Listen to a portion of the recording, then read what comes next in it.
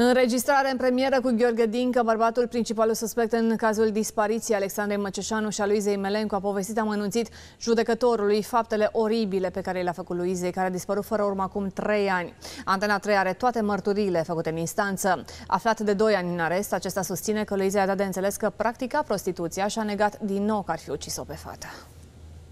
Eu am crezut că este o persoană, Care practică prostituție. Dar dumneavoastră dacă ați văzut-o că e tânără, v-ați spus că e elevă, Da. nu ați găsit că e o diferență cam mare de vârstă între anii ei și anii dumneavoastră, ca să inițiați o discuție cu ce făcea ea, unde se ducea?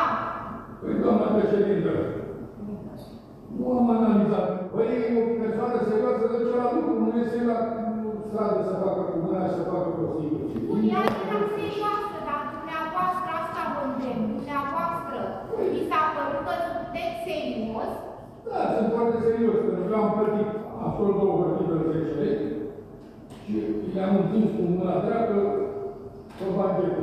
Ce scopiați la banii Iar intenția asta a fost bună, să își ia ceva, că mi-am dat seama că are probleme financiare. Am dat să cobor în mașină și ea am luat banii și a băgat în geac în buzunar. Când am coborât din mașină, eu am luat telefonul ei cu banii de pe spate. De ce? În mine. De ce? Păi am crezut că poate să facă o înșenare și să zică că a fost luată cu forță. Am fi la volan și am vrut să întorc, dar nu se putea că să circula la mașină. Totuși am fost ușor de o parte a copilului și am am mai înaintat, am mai mers. Nu știu.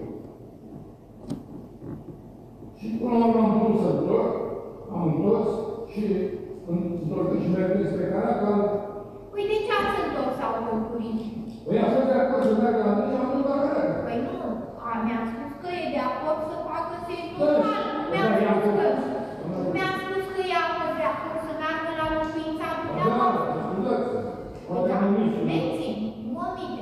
Păi, nu om, dar sunt atâtea amănunte și atâtea timp. Am spus că îi dau, îi dau, îi dau drumul dacă merge să facem sex normal. Că drum, venind spre casă spre mine, am lăsat geamul jos la șofer și am aruncat telefonul. Am zis că îl iau la întoarcere, să ea a observat că am aruncat telefonul.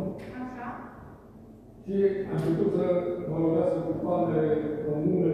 A insistat cu palmele și